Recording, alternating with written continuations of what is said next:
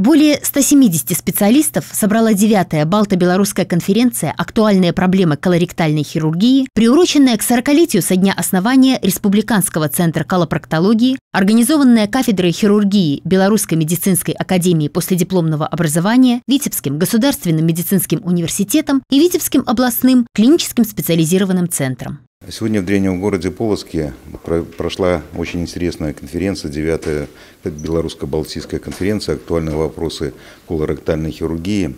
Это действительно очень актуальная проблема сейчас и не только в мире, но и у нас в Республике Беларусь, потому что э, отмечается рост онкологической заболеваемости, э, именно опухоли является одной из первых причин смерти населения. И поэтому, конечно, решая демографическую ситуацию в стране, надо бороться в первую очередь э, с широко распространенными заболеваниями, в частности, опухолями толстого кишечника. Поэтому неудивительно, что этой проблеме сегодня было посвящено очень много внимания.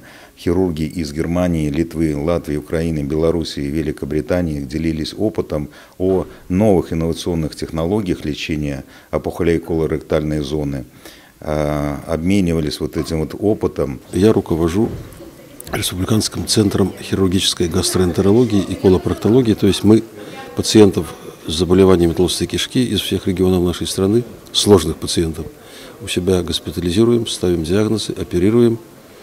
И этому центру сегодня, в 2018 году, исполняется 40 лет. Это тоже один из поводов, э, чтобы эта конференция очередная была в Беларуси. Мы подготовили и информационные материалы, есть стенды. И оказалось, что за 40 лет довольно много сделано.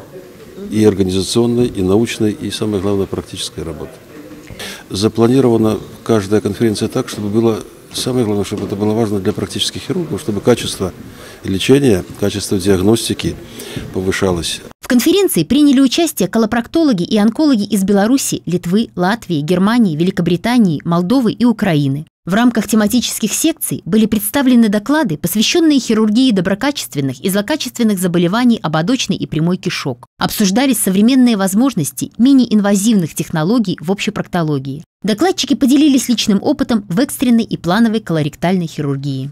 Цель нашей конференции – это поднять научный уровень врачей, работающих в колопроктологии и именно в этом регионе. С большим вниманием был встречен доклад профессора, руководителя колоректального центра госпиталя Святого Марка в Лондоне Джанинда Варусвитарни. Решением ученого совета ВГМУ он был избран почетным доктором Витебского государственного медицинского университета. И в торжественной обстановке проректор ВГМУ Сергей Альбертович Сушков вручил ему мантию и почетный диплом. Для меня большая честь быть на такой конференции, которая охватывает почти все разделы колоректальной хирургии. Мне очень приятно э, получить много новых э, друзей, иметь э, хорошее общение. Больше я горд за то, что оказали мне такую честь стать почетным членом Витебского университета. Я был горд делиться своим опытом, своим видением некоторых вопросов. Спасибо за это. Доклады вызвали живой интерес и активную дискуссию присутствующих. В заключительной сессии конференции разбирались сложные клинические случаи, в которых путем голосования делегатами конференции выбирались правильные методы диагностики, постановка диагноза и определялась оптимальная лечебная тактика.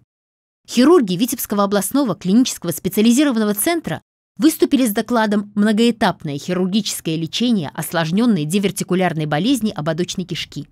Поделились накопившимся опытом с коллегами и обсудили дальнейшее сотрудничество. Выступили а ведущие специалисты таких стран, как Латвия, Литва, э, Белоруссия, с э, передовыми достижениями в колоректальной хирургии.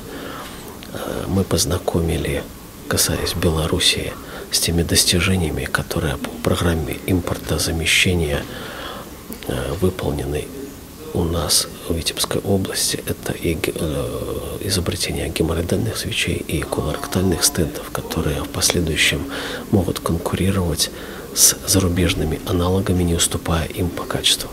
Участие в конференции и обсуждение важных разделов колоректальной хирургии способствует дальнейшему развитию сотрудничества в сфере создания инновационных технологий в лечении, позволяет обмениваться знаниями и опытом, вырабатывать определенные рекомендации и укреплять научно-практическое сотрудничество, способствует проведению совместных научных исследований.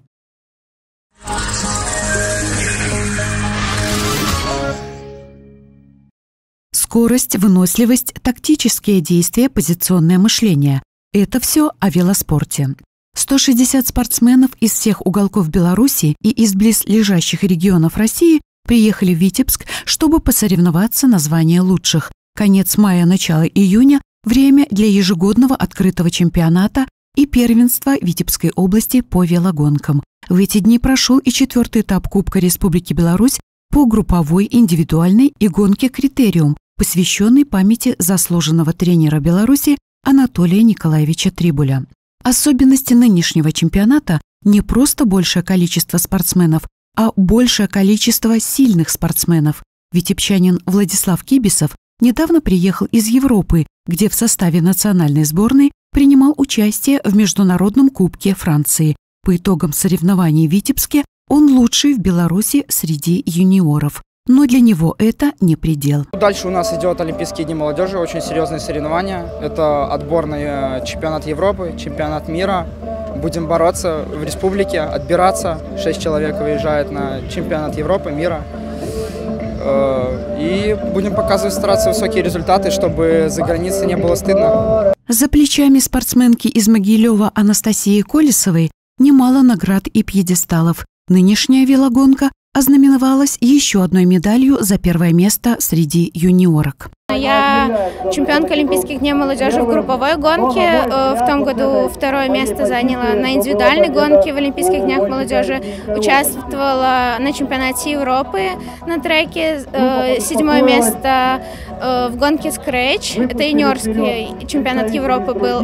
Пятое место в командной гонке на шоссе. Чемпионате Европы в групповой гонке 16 место. На шоссе на чемпионате мира в групповой гонке 21 место. Тренеры и сами спортсмены считают, что участие в соревнованиях такого уровня – это не только новые медали в копилку заслуг, но и шаг вперед, означающий выявление слабых мест и работу над ошибками.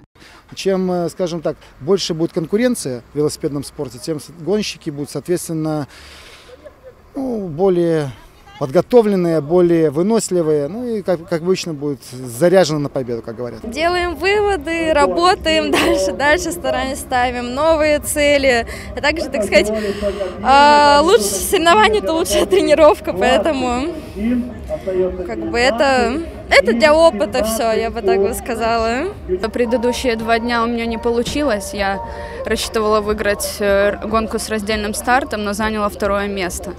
И расстроилась, конечно, немного. И вот сегодня решила наконец-то выиграть. И для себя это такой стимул дальше работать и показывать все лучшие и лучшие результаты. Ежегодные состязания по велоспорту, посвященные памяти Анатолия Трибуля, это не только открытие новых имен, закалка и подготовка уже известных спортсменов, но и постоянная популяризация велосипедного спорта среди населения нашей страны. Современный велоспорт меняется, это уже не советский спорт, это уже немножко идет э, разделение детского спорта, больше здесь уже родители деток приводят, больше уделяют внимание, уже больше, можно сказать, родительские э, моменты вступают в силу, много родителей приезжает на соревнования. Каждый родитель вкладывает в своего ребенка сегодня душу, каждый старается его найти в своем виде спорта, вот, поэтому велоспорт немножко поменялся. Уже с детских лет дети относятся профессионально, также и родители. Вот, э, поэтому и вот эти соревнования показывают, что на самом деле очень, очень большое внимание уделяется со стороны родителей. Лучшими велосипедистами Беларуси в результате открытого чемпионата и первенства Витебской области четвертого этапа Кубка Республики Беларусь стали у женщин Екатерина Петровская, Минск, Среди юниорок Анастасия Колесова, Могилев, у мужчин Александр Шнырко, представляющий Минскую область, среди юниоров Владислав Кибисов из Витебска.